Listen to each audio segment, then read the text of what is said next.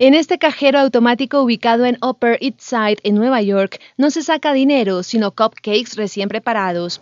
Sí, es una máquina dispensadora de cupcakes, la última ocurrencia de una pastelería en plena Gran Manzana, para saciar el apetito de los neoyorquinos y turistas a cualquier hora del día. Una idea que ya tiene acogida entre los clientes de esta pastelería.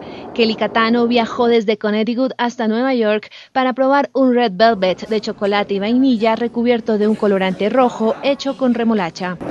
Me han dicho que son muy buenos y es básicamente el motivo por el que estoy hoy en Nueva York. La iniciativa de los cajeros automáticos surgió hace un par de años en California, cuando la popular chef Candice Nelson, fundadora de Sprinkles Cupcakes, salió con unos amigos y en mitad de la noche no encontró una pastelería abierta que calmara su antojo por un pastelito, como cuenta Vanessa Pérez, supervisora en la tienda de cupcakes. Tienes que haber una manera que por donde uno se puede encontrar un pastel, pastelito chiquito.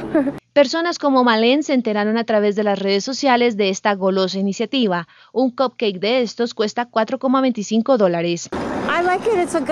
Creo que es una gran idea porque incluso cuando la pastelería esté cerrada puedes venir a comprarlos. Me gustaría que estuviera en una zona de mayor tránsito como Times Square. Es muy sencillo, solo tienes que presionar y escoger el cake que quieres y luego de 30 segundos comienza a aparecer. Beverly Hills fue el primer local que se estrenó hace nueve años y desde entonces han abierto 15 pastelerías repartidas en ocho estados, desde California a Nueva York, pasando por Illinois, Georgia o Texas, donde cuentan con estos cajeros automáticos. Pensamos que es una buena idea para que así la gente pueda conseguir sus empeños. La máquina se recarga con cupcakes tres veces al día para garantizar que el cajero está bien surtido las 24 horas y que estén frescos y el glaseado no se estropee. Ahora ya no hay excusa para calmar este tipo de antojos.